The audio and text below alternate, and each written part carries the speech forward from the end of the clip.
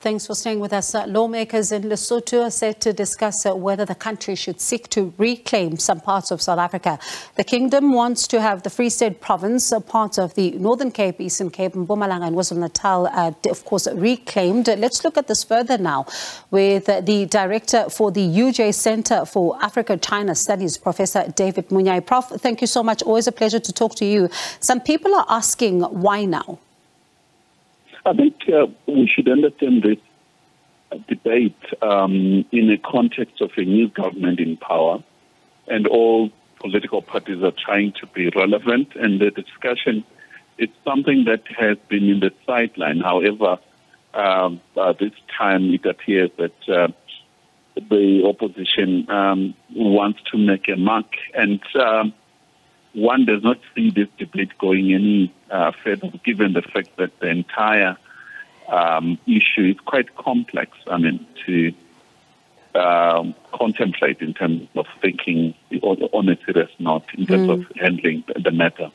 So, listening to you, then I suppose you, you don't think there would be an appetite by the kingdom to want to, um, you know, pick a fight, and I'm putting that in inverted commas, as some have suggested, with Pretoria. Okay um, the issue is that there are two camps. There's the other camp that is also arguing for incorporation into South Africa. Mm. So it, it, it's a question of these two camps finding an amicable way of handling. But at the heart of it, I think it has to do with the level of uh, development of literature. I think uh, since independence, there has always been the debate that um, majority of people uh, who think that they would uh, incorporate into South Africa. However, the earlier debate um, uh, was not successful because of the colonial and apartheid in South Africa. Uh, Post 1994, I think the debate uh, went on in the periphery. However, this is the recent first time that this debate is now right at the parliamentary level in terms of seriously taken as a national issue. Mm, and Prof, uh, you know, of course, you talk about these two sides, some calling for the annexation, others saying let's reclaim um, these particular spaces. But looking at over time how this debate has unfolded, can these two sides even find one another? I really do not think South Africa will entertain. I think Namibia will claim the same, Eswatini will claim the same, Zimbabwe yeah. will claim the same. Then I think uh, skinning the geographical setting of South Africa as it is, I think it would be difficult.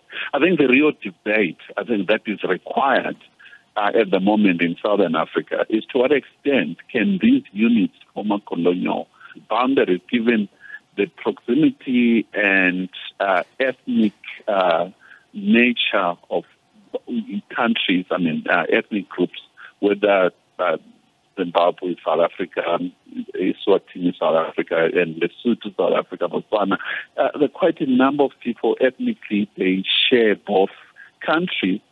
So I think the best way is to handle it within SADC and the AU. Uh, we are already moving towards a, a regional integration, um, ensure that we maximize um, the continent in terms of our bargaining with external uh, forces.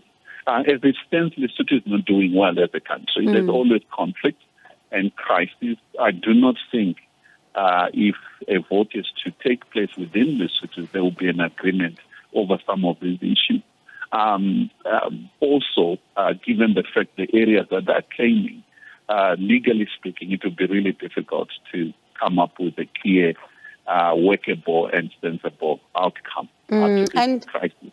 And Prof, if it doesn't, uh, you know, go the opposition's way in the, of course, in, in, in, Parliament, how big of an issue is this going to be for them, though, going into the elections? Because some are saying on the ground it looks like this is pure electioneering. It's a relevance and seeking relevance as well as, I mean, they as an opposition, they have a right to raise these issues, but I think it might even raise the opposite uh, argument for those who are saying we need uh, to incorporate Lesotho in the main um, South Africa. But um, in my own view, uh, I do not think whether those living in the territories within South Africa will agree to join a country that is not doing well. um, nor can um, uh, Lesotho itself manage, uh, given the poor nature of the economy, endless conflict, disagreements over uh, uh political uh, uh, issues on governance.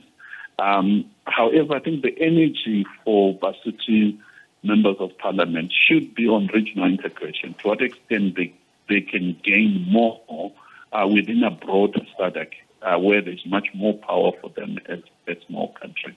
Mm, and it'll be interesting to see um, how this one goes. Prof, thank you so much for your time. Do appreciate it. We'll continue to monitor this particular story. And uh, Rabelang Hadebe, also our correspondent, is watching this particular story. That was uh, Director for the Center for Africa-China Studies, UJ, Professor David Monyae.